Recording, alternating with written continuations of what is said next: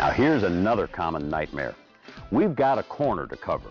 Now we're okay here because we can attach the drywall on this surface to this member right here. But coming from this side, we've got no place to nail that drywall. We're going to need some help. Hey Harv, send a carpenter over here, will you? Hey, wait a minute. We don't need that. We've got X-Crack.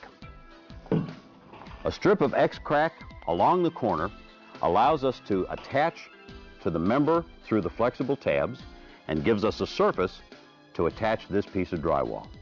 Harv, never mind the carpenter, okay?